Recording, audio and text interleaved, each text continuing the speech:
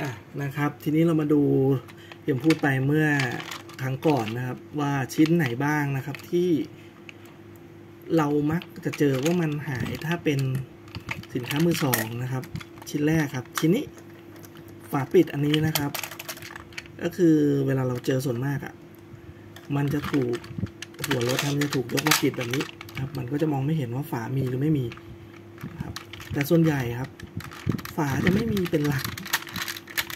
หายประจำนะครับ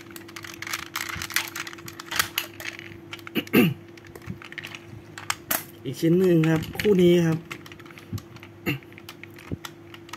ตัวล็อกขายานนะครับ ท้ายเครื่อง แล้วก็น่าจะเป็นฝาถ่านแต่ว่า เปอร์เซ็นต์ฝาถ่านที่จะหายแต่แรกเนี่ยจะน้อยนะครับ ทีนี้ต่อมาครับในส่วนของเครื่องบินนะครับ ชิ้นนี้หายครับ ฝาครอบห้องนักบินนะครับหนึ่งชิ้น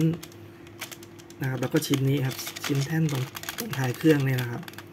ถ้าไม่มีนะครับมันจะรวมร่างเป็นยาลำใหญ่สุดไม่ได้นะครับส่วนของชุดเครื่องบินนะครับอีกอีกอีกคู่หนึ่งนะครับที่มีปัญหาหาไม่เจอบ่อยๆนะครับ ก็จะเป็นตัว คีบของตู้คอนเทนเนอร์นะครับ ก็คือชุดนี้นะครับ มานะครับ เวลามามาแต่ตู้ถือตู้นี้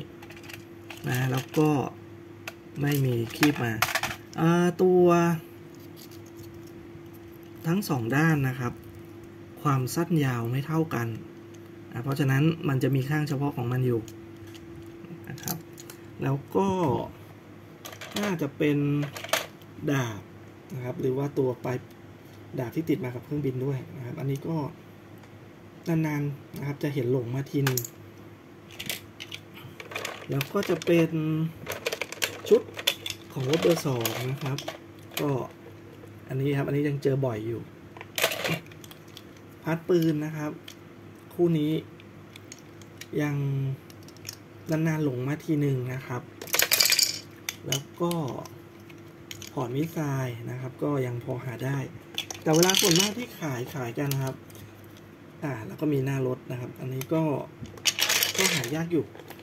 จริงๆ ใช้คำว่ายากก็ไม่ถูกก็คือมันจะกระจายกระจายไปอยู่ในทรานฟอร์เมอร์บ้างอะไรบ้างพวกนี้นะครับ ก็ที่ส่วนยากก็ประมาณนี้สำหรับคนที่อยากจะลองเก็บแบบ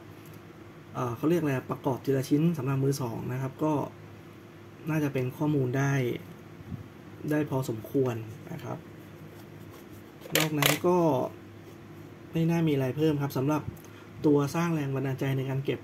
ลายไฮโทมี่ Tomica Hyper Series ก็น่าจะมีเท่านี้ครับ ขอบคุณครับ